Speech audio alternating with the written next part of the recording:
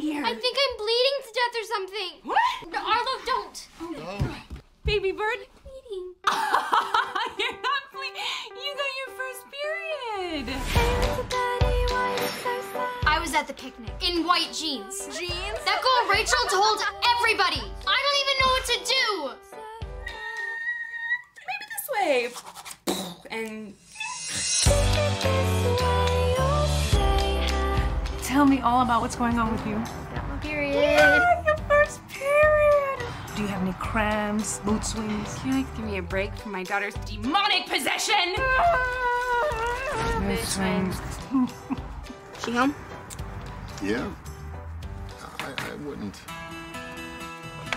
My mom made me go to this party. Had to pretend like I was dead in a kiddie pool.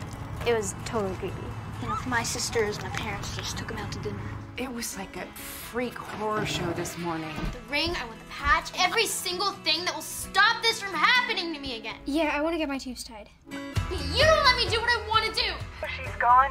I left her at the fire station and she left. Fire- Yeah, safe baby drop off. She's a kid. I know my rights. I have until she's 18. You have to take her. Is that right? That can't be right.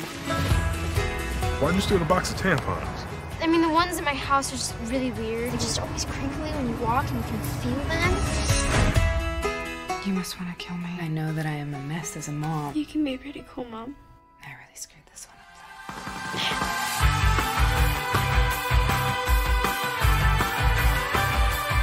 You know, this is my boyfriend.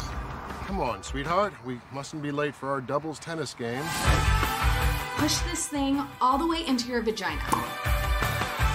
One week out of every month. If I'm gonna bleed, what's the point of living a life like that? There's having children. That's a beautiful thing. Being a woman means having to put up with a certain amount of shit. And having your period is just one of them. I refuse to believe that.